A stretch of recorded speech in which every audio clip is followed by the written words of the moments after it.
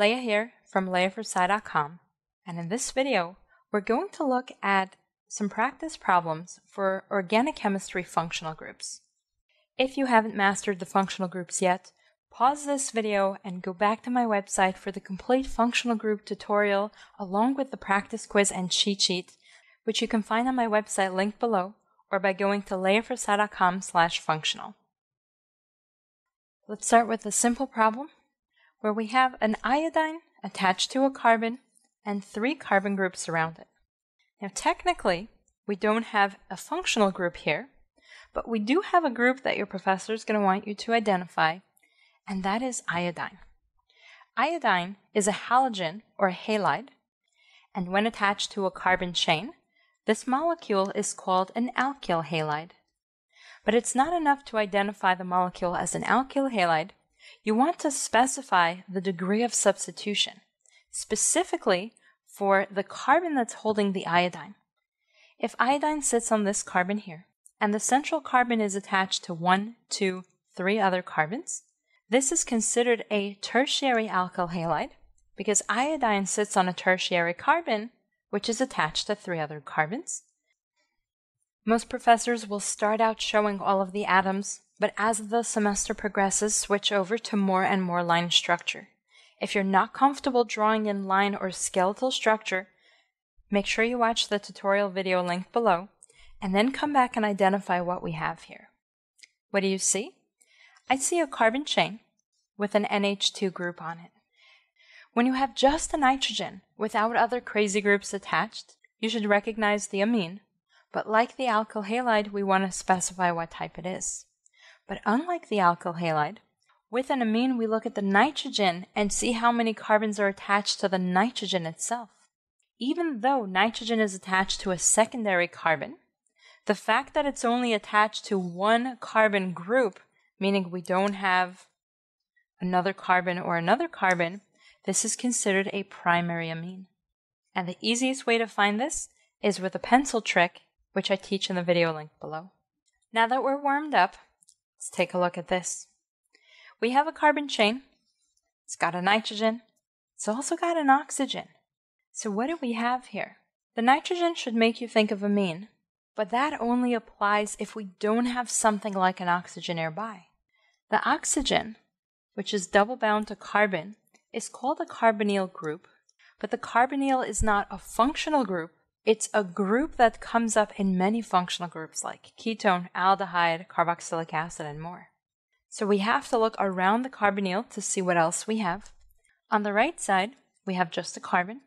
On the left side, we have a nitrogen. And this is our key.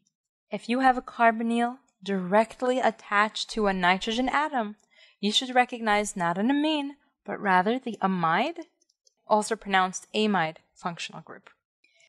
Speaking of carbonyls, what do you see on this molecule? The first thing to recognize is that we have a benzene ring, but a benzene ring is a group rather than a functional group. Some professors will test for it, so make sure you identify benzene, but that's not the biggest thing we have here. If you recognize OH at the end of the molecule and think alcohol, you're very close, and this is a very common mistake. An OH by itself would be an alcohol, but if the O is directly attached to the carbonyl carbon, you have to look at the entire functional group as one unit. That's a carbonyl with an OH attached for a carboxylic acid.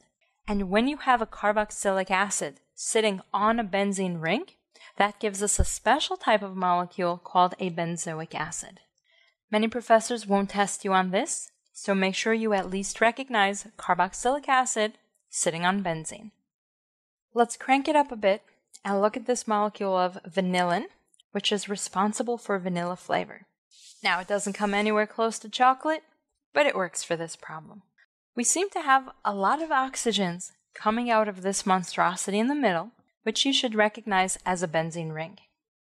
Let's take each oxygen one at a time and see what it tells us.